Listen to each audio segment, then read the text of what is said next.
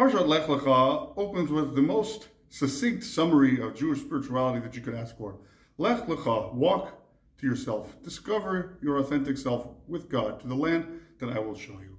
And we see Abraham going on his journey. Not everything goes so smooth, and like all of us, he has ups and downs, bumps and bumps in the road, and, and moments of elation and moments of difficulty. What we can see is when he first gets to the land of Israel, the, he has this revelation of God. This is the place, as if God is saying, okay, this is the place. Your children will inherit this land. Uh, and there it says that he built a, a, altar to Hashem who appeared to him there. Okay.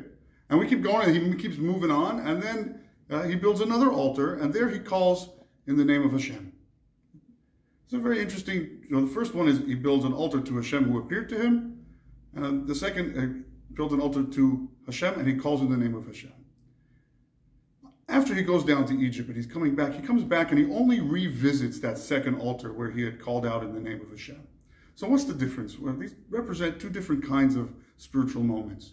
There are times when we have a great epiphany and it's, it's amazing and we want to do something, we want to sort of remember that moment, take a snapshot as if to say, if I could only live in this moment uh, forever. Right? That's what it means to build an altar to Hashem who appeared to me. Right? I had that moment of revelation and I wish I could save it, but I don't. And when it, those fleeting moments, we can never regain them. We can't get it just right ever again. But if we take in that moment of, of, of epiphany, that moment of spiritual, uh, authentic experience, and you call out in the name of Hashem, you take that and from that moment you pray.